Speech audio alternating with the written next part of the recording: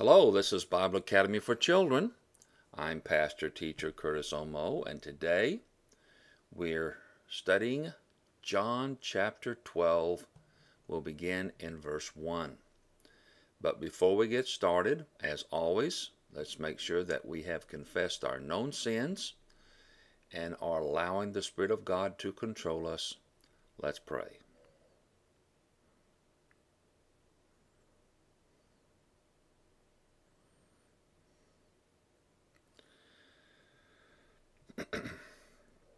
Oh, Heavenly Father, we thank you again for this opportunity and privilege and everything you've provided so that we can study your word.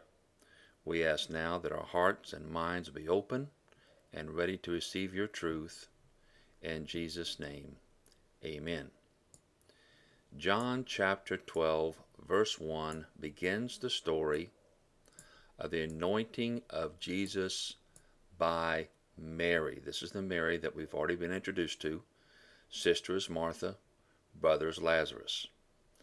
Now, this story that goes on in the beginning of chapter 12 of John is also in Matthew 26, 6 through 13, and Mark 14, 3 through 9. So if we want to add a little detail there, we can go over and look at those books. Uh, Luke doesn't write about this particular account, but John and Matthew and Mark do. And we'll bring in some of Matthew and Mark later on. Now, the introduction to this section, the setting is verse 1. John writes, Then Jesus, therefore, six days before the Passover, came to Bethany where Lazarus was, whom Jesus had raised from the dead. It's six days before the Passover. This would make it Saturday evening. Remember that Jesus had been up north in Ephraim, if you remember our last couple of lessons. Uh, that's up north from Jerusalem down here, Ephraim up here, Bethany back down by Jerusalem, less than two miles. Now, Bethany, as you remember, is the home of Mary, Martha, and their brother Lazarus, who Jesus has recently raised from the dead. Now, John tells us that it's six days before the Passover. Now, let's understand six days before the Passover.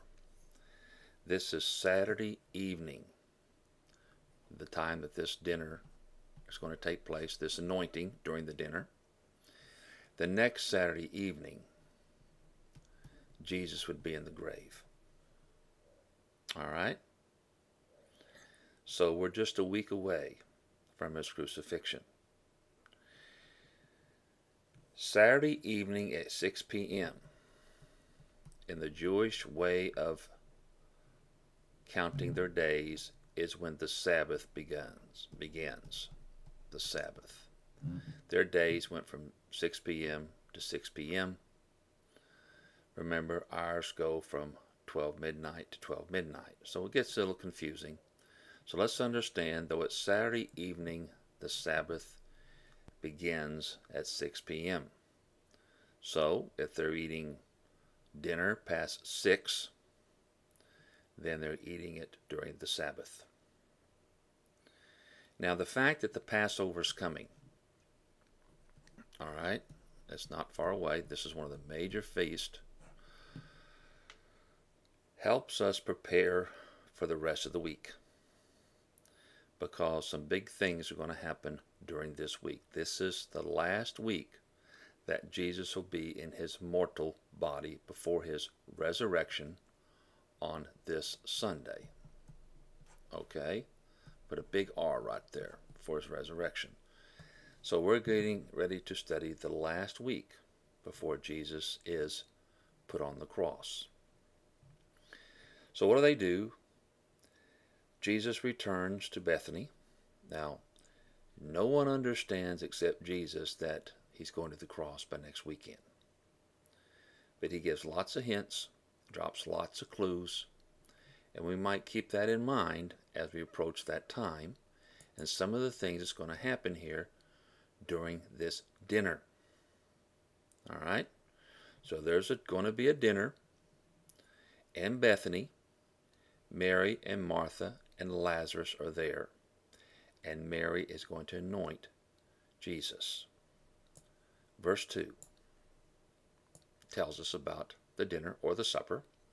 So they made him a supper there, and Martha was serving, and Lazarus was one of those reclining with him. So Jesus is there with Mary and Martha and Lazarus, and they're having dinner. It says, So they made him supper. Doesn't tell us who they are. We would assume that Mary and Martha are involved. But there could be a number of people involved in that because this is a pretty big meal with a lot of people there. Again, we're told the village is Bethany. But we're not told whose house the banquet is in. Now, you might think, well, it's probably going to be in Mary and Martha's. That's where they were earlier. No. Matthew 26 6 and Mark 14 3 and their account of this same event has them at the house of Simon the leper. Now, we don't hear much about Simon the leper, except this is what they called him, and we would assume that Simon caught leprosy. But some think that Simon the leper, leper might have been the father of Mary, Martha, and Lazarus. So they'd basically be in the same house that they were earlier. But we don't know the answer on that for sure, whether Simon the leper was their father or not. So we just have to kind of think, well, maybe, maybe not, and leave it at that, because the Bible doesn't tell us. We learn in our verse that Martha was serving, she's serving the guest, and Lazarus was one of those there with Jesus, reclining with him. now, when we eat, we usually sit at a table. I don't know about you, but uh, in the western part of the world, most of us sit at a table. But back in those days, now this may sound kind of strange, they actually had a table that was on the floor. Then they have kind of a couch, or you might say a big cushion to lean on, and they would lean on one arm and eat with their free arm at the table, with their head and hands at the table, and their feet would kind of lay out away from the table. That was the custom. So, with the feet laying away from the table, as you might picture it, it would make it easy for Martha to get to Jesus' feet because they weren't like under a table or hard to get to, okay? Then we see in verse 3 that Mary does something quite astounding. Listen to this. Then Mary, took a pound of very pure nard ointment, anointed the feet of Jesus, and wiped his feet with her hair. And the house was filled with the fragrance of the ointment. Let's talk about this ointment a minute. We see the word pound, that's actually the uh, Greek word pound, but refers to the Roman pound, which would be about 12 ounces. In liquid, that'd be about a pint or half a liter. Uh, we like to buy uh, Coke and stuff in two liter bottles. That's two liters. All right? So we're talking about a fourth of one of those. That's a lot of liquid. All right? And it's called a very pure nard ointment.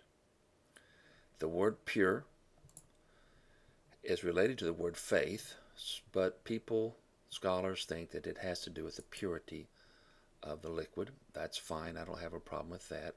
It's also called nard. I'm going to put that up there on the board. Uh, nard. You've probably never heard of that word before. It's a oil from India. It comes from its root or its spike, so sometimes it's called spikenard. As you see, it's a fragrant smelling oil from the root or spike of the nard plant from northern India. So no, not only did this uh, fragrant ointment come from a long distance, but we learn it's very expensive. Even a little bit's expensive. And Mary had a whole pint. All right? It's called ointment. Uh, the word for ointment you might be interested in is muron, or muron, I should say, muron. It's the word we get the word myrrh from, or myrrh. You often hear about myrrh during Christmas time, and that was one of the gifts to Jesus as a baby. It's a sweet smelling oil or perfume. So, Mary has this pound of very pure nard ointment. Now we learn about the cost of this nard and how expensive it is by what uh, John, not John, but uh, Judas says later on. It's worth a year's wages. So it's expensive. Mark tells us she broke the vial, probably meaning the seal. But Matthew and Mark both tell us that Mary poured it on Jesus' head. It doesn't mention his feet. So what we have is, two of the Gospels say they poured it on his head. John says it poured on their feet. So how do we make these two match? Well, it's really simple. Matthew and Mark see the head anointing as the most important part.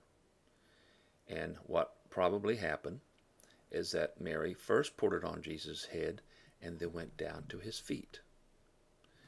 Now, why does Matthew and Mark mention just the head? Well, maybe that's all they could really see, is when she poured on his head.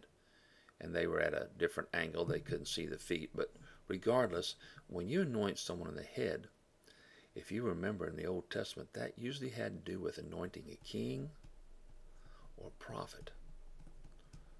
So you might have a prophet come up and anoint a king. Or a prophet might anoint someone else uh, uh, at a significant position, perhaps a, a prophet. And what we have here is a picture of Jesus being anointed as king. And we know he's a king. We also know he's a prophet. But John emphasizes that his feet was anointed. Now, what do the feet do? They take you to where you're going, don't they? Of course. And anointing the feet was a was not a very respectable job, you might say. That was usually the duty of a slave, one of the lowest of the slaves in the household. So basically, she went from head to Jesus' feet and anointing him. The feet also uh, takes us to where we're going to go. Where was Jesus headed by the end of the week? The cross. So you can see some of the significant symbolism of all this anointing. All right?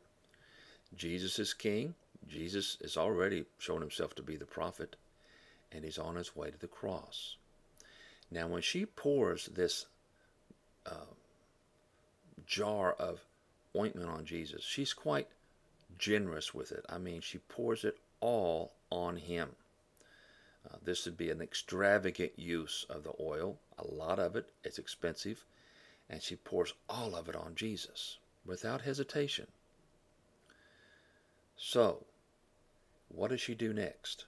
After she pours it on his feet, she lets down her hair. Now, the women usually have their hair up under um, some sort of covering, but she let her hair down and she began to dry Jesus' feet with her hair. Now, the things that's unusual about this is that the women usually didn't take their hair down except in front of their husbands. But this was an exceptional time and an exceptional act. And not only that, she wiped his feet with her hair. So I expect it was kind of long, don't you? To be able to wipe somebody, you'd have to uh, be able to reach down there, and there she was, wiping Jesus' feet with her hair. And another thing, with all this oil poured out and spread around on Jesus, the house was filled with the fragrance of the anointment. Now, why did Mary do this besides what we just saw in the symbolism? She probably didn't think about the idea that this was the king and going to the cross, but we who know the scripture understand symbolism and why these things happen and what else they communicate. But Mary was showing Jesus an act of devotion. Uh, Mary very much loved Jesus. She understood who he was uh, to some degree and wanted to show how devoted she was to the Lord. The other thing is, remember I said, if we go back a page or two, this is the beginning of what we call the Passion Week. This has become a popular term. The last week of Jesus' life, he's going to be arrested and tried and crucified.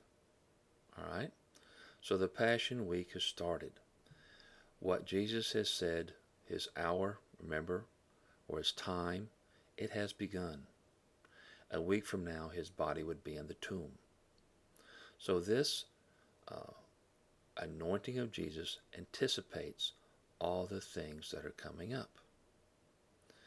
Now, John, our author, decides to tell us what Judas said.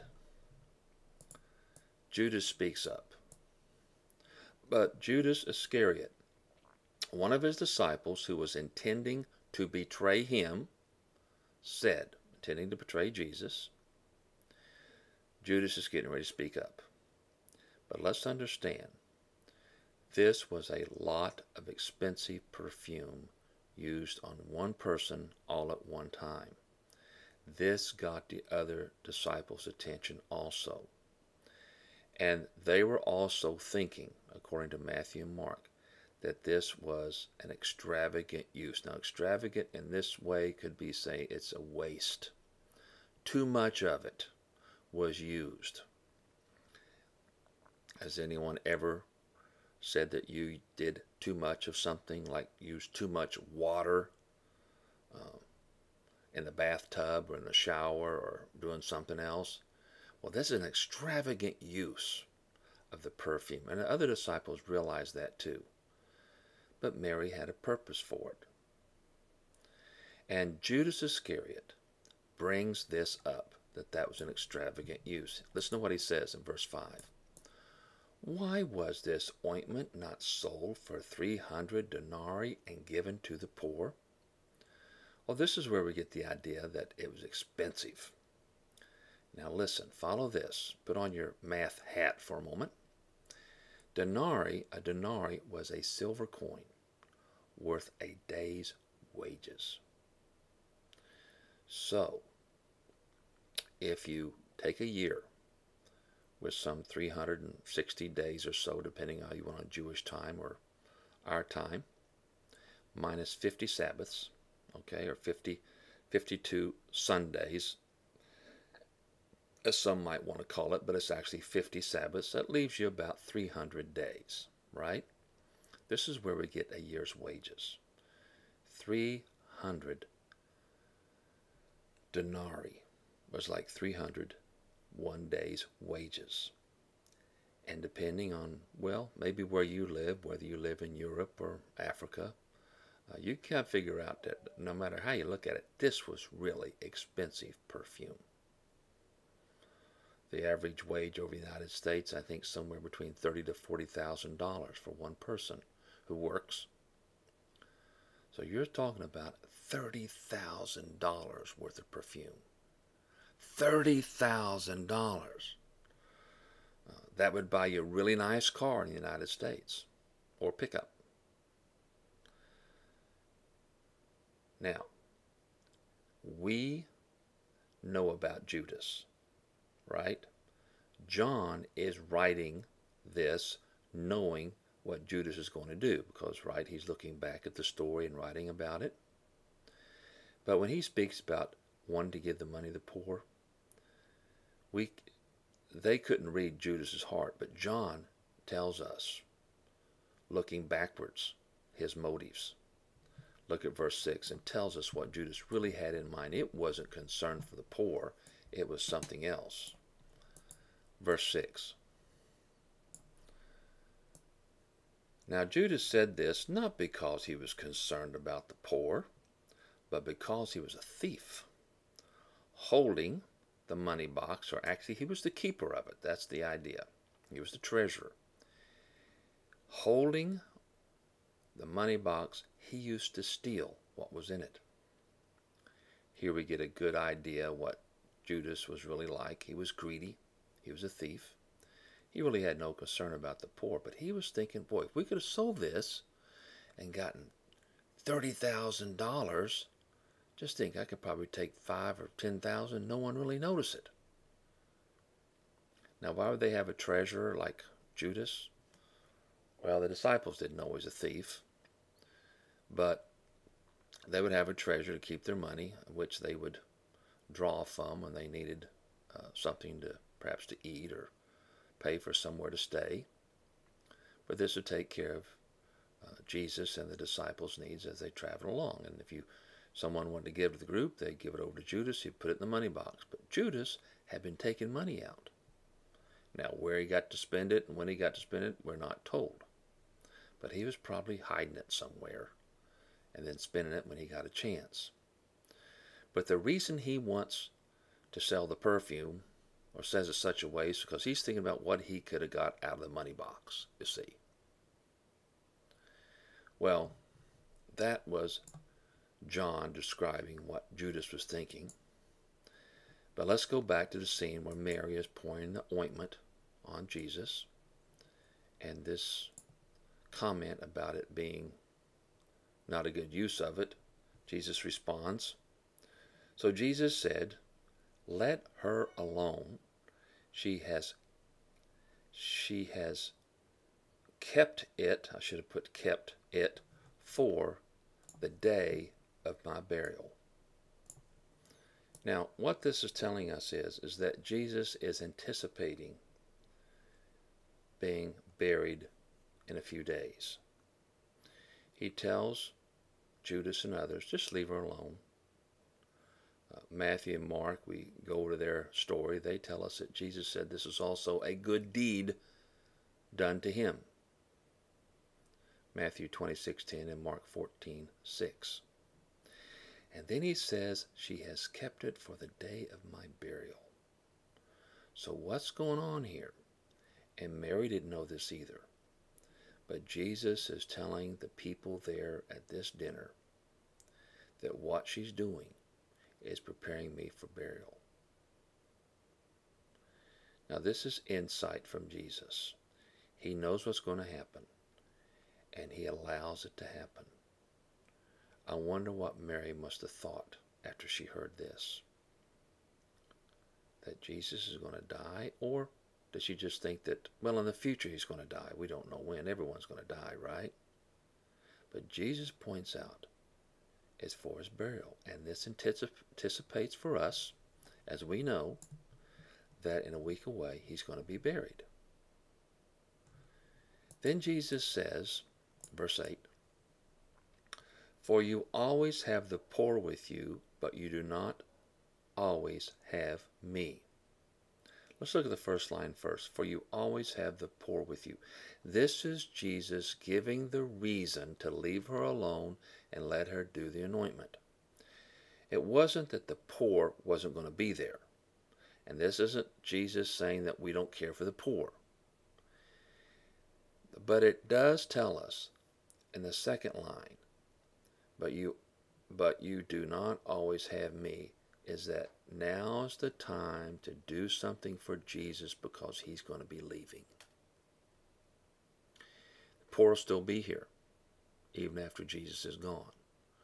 So Jesus isn't ignoring the poor or what we might say being indifferent towards them.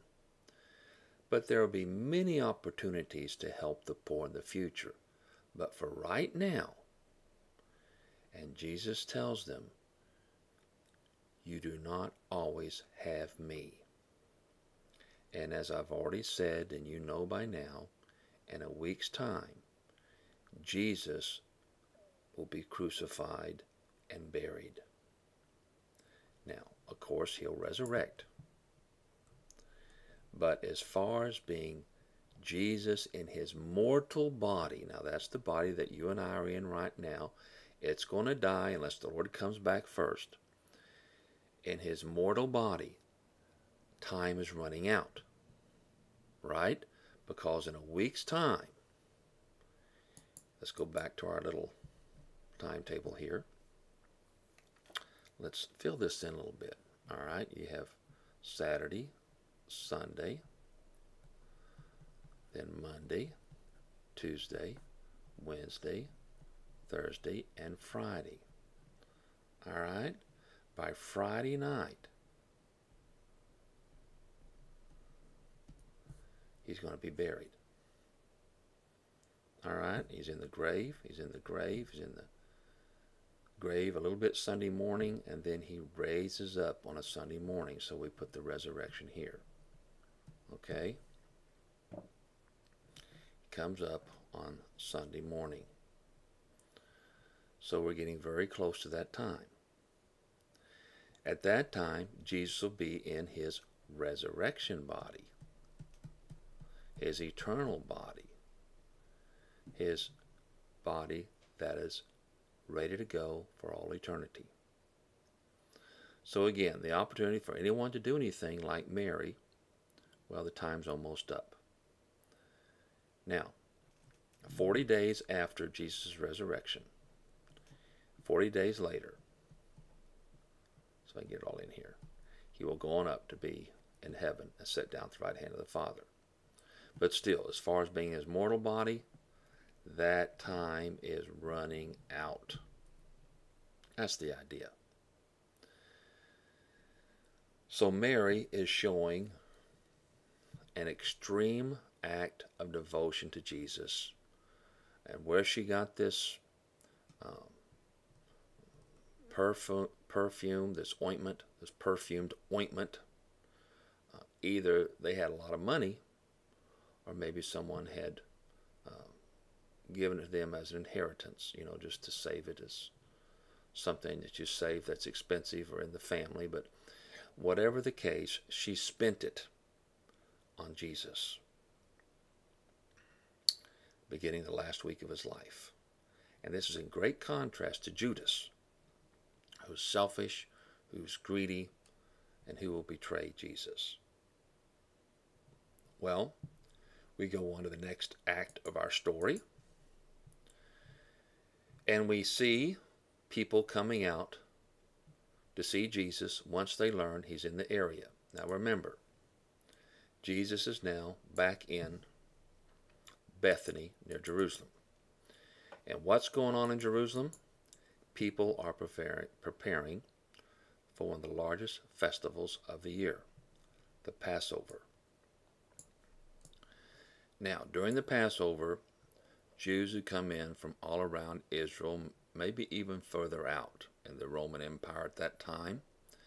And so the population of Jerusalem would swell tremendously, maybe from a few thousand to tens of thousands would start coming in for this celebration festival. And word got around that Jesus was out in Bethany. So what happens? Verse 9, we see the reactions to Jesus' presence at Bethany. Verse 9. The large crowd of the Jews learned that he was there, and they came, not on account of Jesus only, but that they might also see Lazarus, whom he raised from the dead. So this large crowd comes out of Jews or people from Judea, that area. They came out to see both Jesus and Lazarus. And it appears that Lazarus is quite the celebrity at this time. Not many people can talk about being in the tomb and then being raised from the dead by Jesus. No one except Lazarus that we have a record of. But Lazarus apparently had been hidden from the public, probably by his sisters, just to keep the attention away from him, give him some privacy. But now he comes out, and you can understand that when Jesus shows up. Well, people want to see those two. And then the authorities hear about this, as we might imagine. John gives us a comment about what the authorities were thinking now that Jesus and Lazarus are together. Look at verses 10 and 11. And the chief priest planned that they might put Lazarus to death also. Because on account of him, many of the Jews were going away from them, that is, the authorities, and we're believing in him, that is, Jesus. Well, let's summarize these two verses. The chief priest, that's the Jewish authorities, some of them who were in the Sanhedrin, that council, added Lazarus to the hit list. The hit list being people they wanted killed. And as long as Lazarus was alive, Lazarus was a living testimony to the power and person of Jesus. After all, Jesus had raised him from the dead. And then we see that because of him, many of the Jews were going away from them because of Lazarus. Lazarus was there too. People say, He's the one that was raised from the dead. And there were probably people who knew Lazarus and people who knew people who knew Lazarus, okay? And what had happened? So people were leaving the belief of the Jewish authorities. That's what it means when it says they were going away from them and they were turning to Jesus by believing in him. So Lazarus being alive and being there is bad enough. If it was bad enough for them that Jesus was back. Now Lazarus is here too, the one that he raised from the dead, the one that was in the tomb. And there were enough witnesses to be very convincing that Lazarus had been raised from the dead. And once that word got around and they see that Jesus and Lazarus are together again, well, I just wonder if they thought Jesus was going to do something else miraculous. Well, the Jewish authorities didn't like them being around, not even alive, in fact. And now they want to get rid of Lazarus also. Now, though they placed Lazarus on this list of those to be killed. Uh, nothing seems to have ever come out of it since there's no mention of it later in Scripture. This is one of those things where you'd want some sort of closure if there was. So I think we can assume that Lazarus died a, a natural death later on. No mention of how he actually died. Now, I want us to look at something. I drew this a while ago, but I want us to look at it from a different angle. Because it's so long, I have to do it from top to bottom, not side to side. So this is a timeline, but not the kind I usually give you.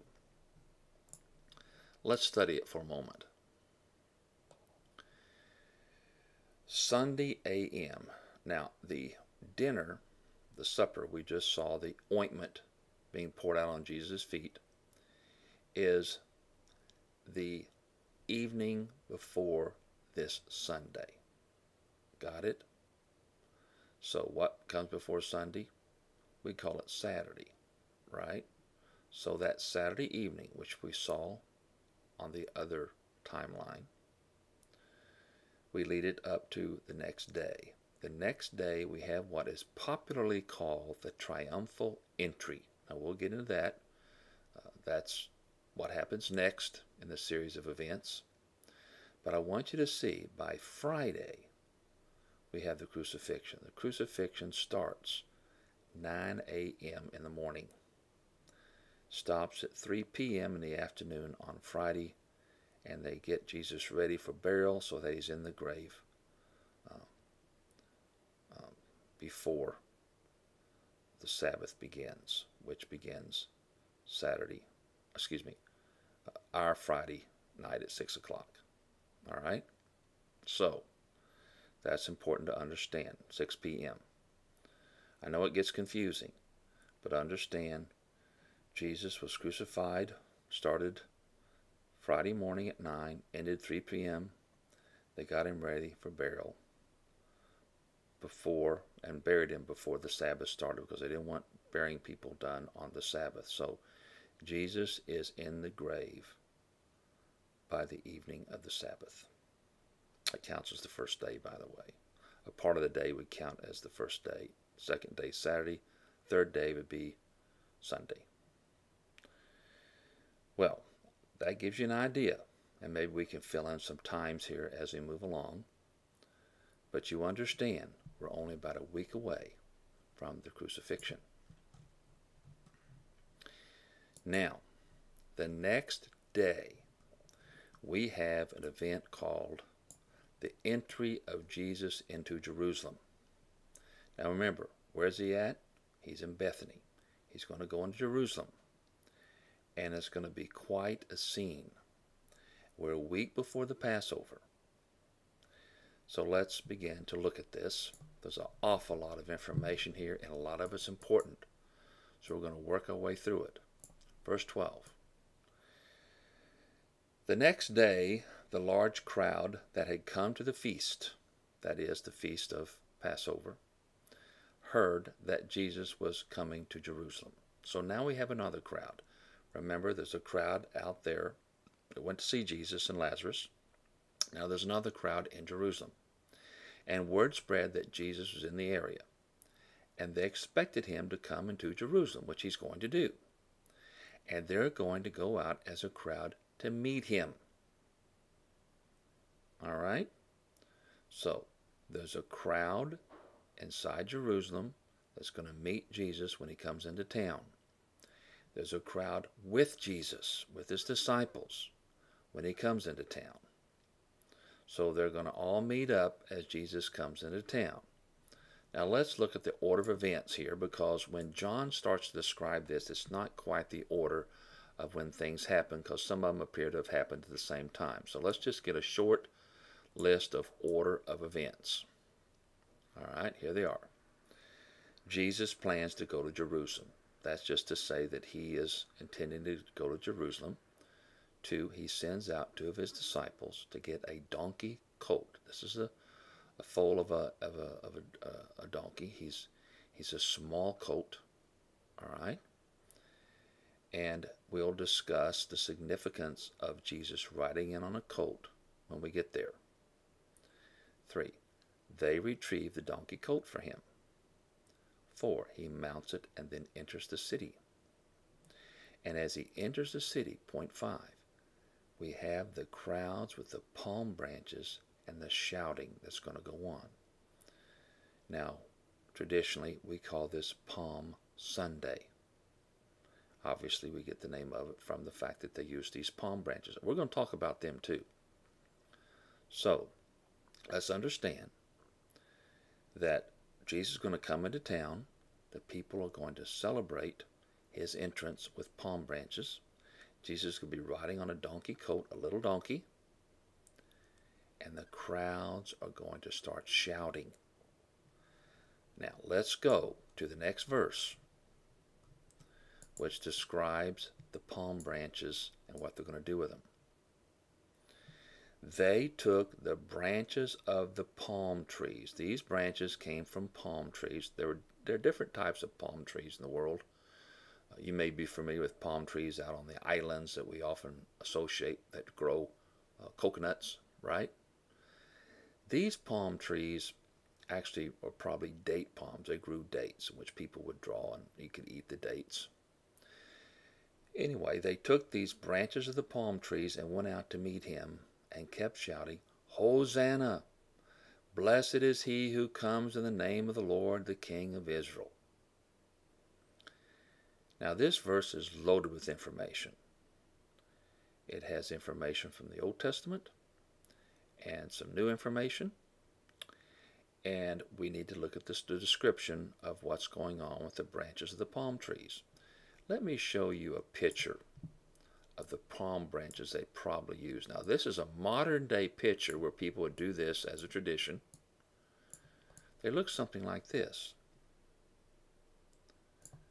Isn't it interesting they call them palm trees? Uh, do you know why they call them palm trees? Look at the branches. Uh, the Latin is palma, P A L M A. That's the palm of the hand. So, the leaves look like fingers extending from the palm of the hand.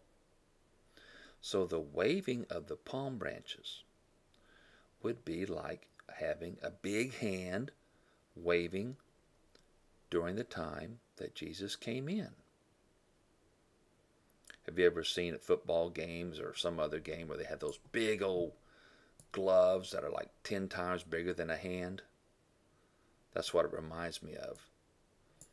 And they would usually point to where number one or something like that. Well, the idea is that these palm hands were just a way to celebrate uh, something that's happening.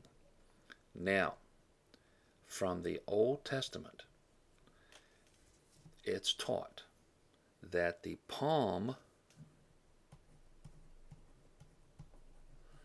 The waving of palm branches became a gesture, a movement. You know, a gesture, something you do with your hands or your feet or something. It's a gesture. It's an action of messianic hope. Now, what does this mean? Well, people hoped that Messiah would come. So during certain festivals, the one in the law is the Feast of the Tabernacles. Now you say, well, this isn't the Feast of the Tabernacles. No, it's not. It's the feast of the Passover. But it was also adopted for the Passover. And it became a sign of their nationalism, a sign of their nation, a sign of their hope. So they like to do it during their big celebrations. Just like over the United States, we we celebrate the New Year's with firecrackers and uh, often fireworks shows. But we also during do that most of all during the 4th of July, a day of independence. That's the big shows. Then other people, they don't really have shows around New Year's, but they do pop firecrackers to welcome the new year in. So these things like waving of palms extended to the Passover too. In fact, the palm, the palm itself, the palm leaf, uh, as I showed you the branch, it became a national symbol. Uh, we have uh, olive uh, branches on some of our symbols, and people understand that usually represents peace. Well, they're palm branches. They even had it on their coins too, by the way, was a sign of their nationalism, uh, pride in their country, you might call it. So what would happen is, this crowd would take these branches of the palm trees, like we saw, and they went out to meet him. And they began to wave them like they were welcoming him in. And you might picture it as kind of like a, well, what we call a gauntlet, where the people were all in rows, like you'd have in a parade ground, right, on, on both sides of the path, right? And then start waving these palm branches welcoming Jesus as he came into town. We're looking down on this, of course, okay? And went out to meet him. Now remember, what did the palm branch represent? I said it earlier the messianic hope that their Messiah was coming. So when they start waving these with Jesus coming into town, what do you think they think? That Jesus is the Messiah. And why would they get so excited about this? Well, one of the reasons is because they believed that the Messiah would come and be a conqueror. You know what conquer means to win a battle, to, to take over.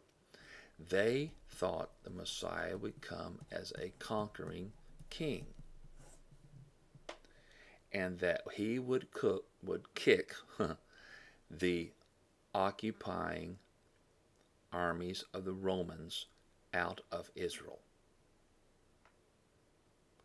And this is why they're getting so excited. Now just think of it. Here you have Israel that is basically ruled by the Romans. The Romans let them have their religion. They let them have some of their own rulers. They let them have the the council and the Jewish authorities, but they really didn't have their freedom as they wanted it. They wanted their country back and they wanted the Romans out. So the people are thinking, waving these branches, saying, Hosanna, that Jesus is the Messiah, the King who's going to come and free them and give them independence from Rome.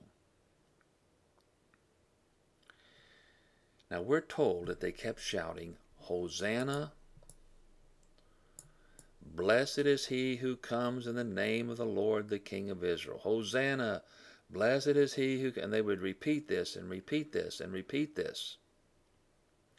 Now, where does this come from? Hosanna. Well, for that, we go back to the Old Testament, as we often do, to get our interpretation. Hosanna basically means Lord save. It's from Psalm 118, 25a. Now let's talk about Psalm 118 for a moment, because it's important for our background. If you've studied any of the Psalms in the children's series, or just studied them with your parents, you know that some of the Psalms were called praise Psalms. They were Psalms that praise God right? They had a name in the Hebrew called Hallel. Four in a row, or 113, is it four in a row? 113 through 118. That's more than four, right? Actually, seven. Seven of them. 118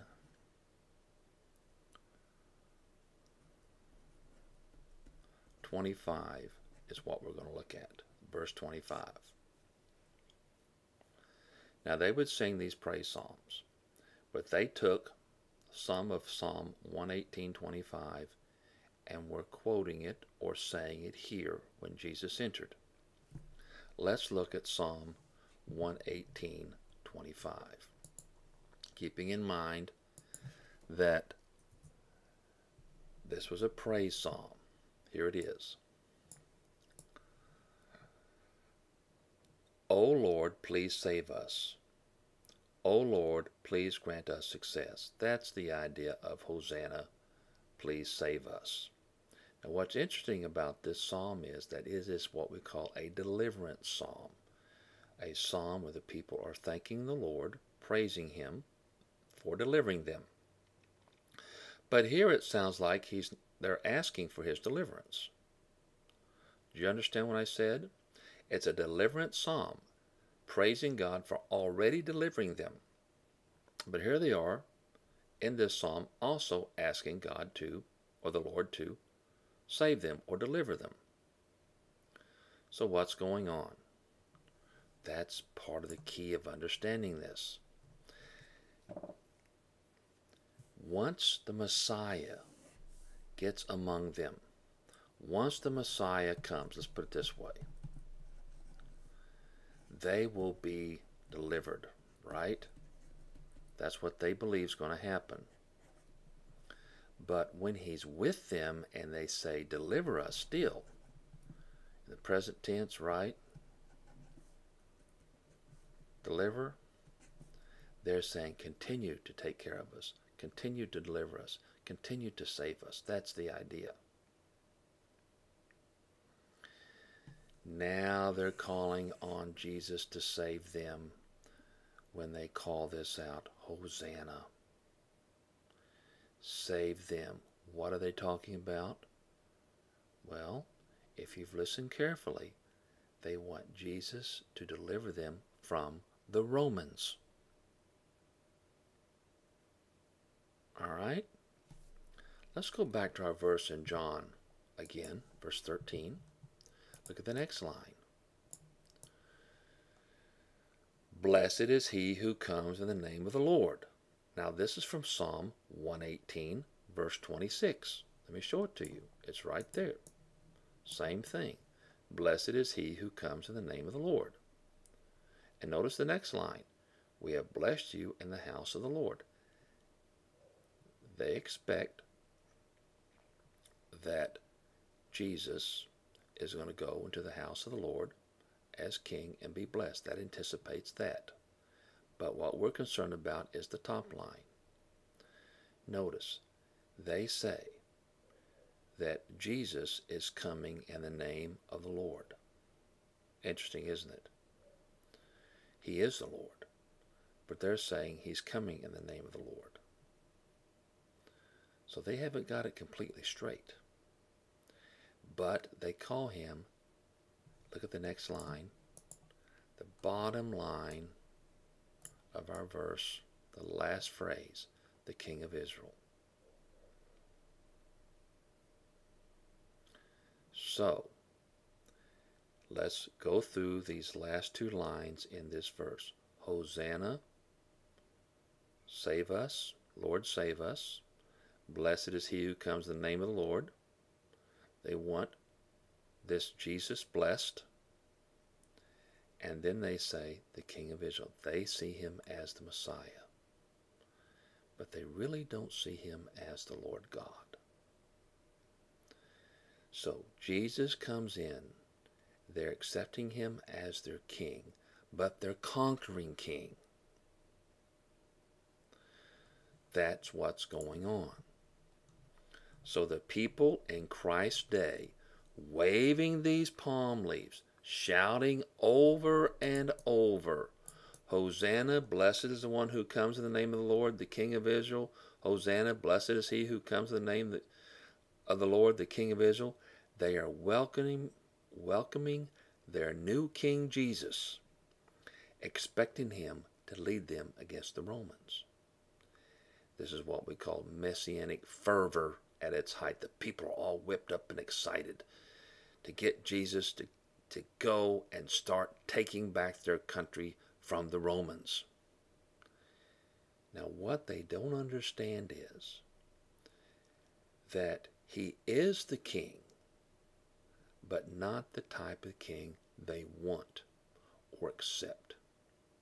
And when Jesus comes in like he will, or as he is when they are starting to wave those palms and chant this phrase, Jesus is going to show them by their very by his very entrance that he's not the conquering king right now. When Jesus comes in, he doesn't come in in battle gear, swinging a sword, riding on a war horse, but he's sitting in plain clothes upon a donkey colt. And what is Jesus doing? Now listen carefully. Jesus, I'm going to write it down, is presenting himself as Savior, as Savior Prince. We might say the Prince of Peace, not a conquering king. Sitting on a donkey, could be misunderstood by the crowd, thinking that he's going to switch over to a war horse.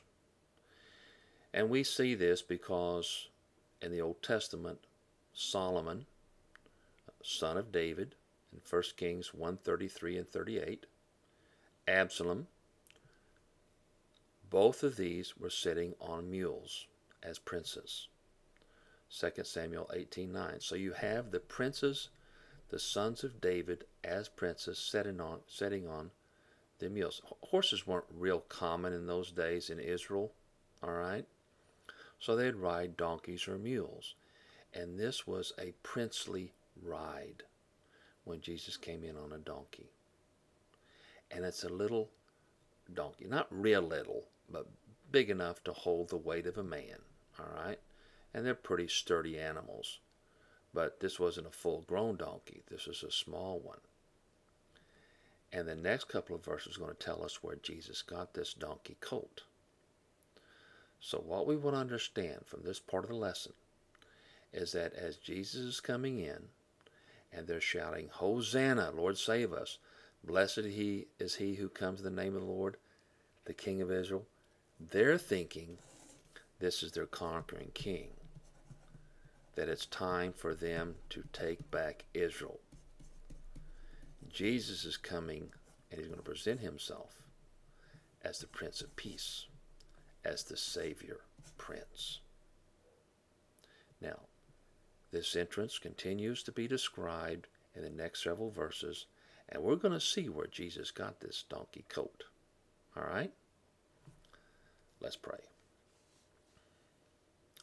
Well, Father, we do thank you for your word today. It's been fascinating to learn about Mary and anointing Jesus' feet and all the symbolism behind these things. And, and now we learn the important idea behind Jesus coming in on a donkey coat as the Prince of Peace. Lord, help us understand these things because they're so important for other things we're going to learn about our Lord and how we can best follow him. Thank you for this word. In Jesus' name, amen.